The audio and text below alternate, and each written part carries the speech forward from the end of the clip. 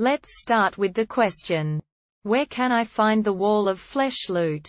I just defeated the Wall of Flesh in Terraria but I received no drops.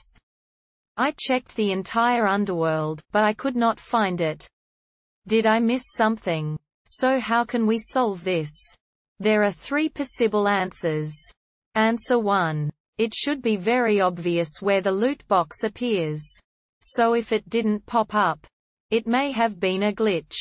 Typically, it will spawn a square of blocks as stated in the other answer very close to the wall's horizontal axis in hell upon dying did you perhaps kill it off screen? If you can recall, try to find the exact location it died.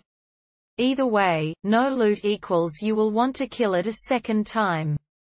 Some of the items you need for your now hard mode world are contained in that box. Answer 2. If you died under the box, just before you died it might have dragged the loot through the box. Because you died, it would have fallen into the lava instead of your inventory. If this is the case, you will have to fight it again. Of course. If you have a hell bridge under the Demonite, Crimtane box, then this couldn't have happened.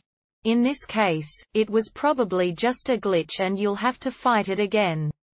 Either, you'll have to fight it again. Answer 3. When you kill the wall of flesh and enter hard mode. You may be worried the loot will drop in the lava. But the loot will be caught in an Ebonstone, Crimstone crate, and you can pick up the loot there. I hope these answers helped, and if they did, please drop a comment and subscribe.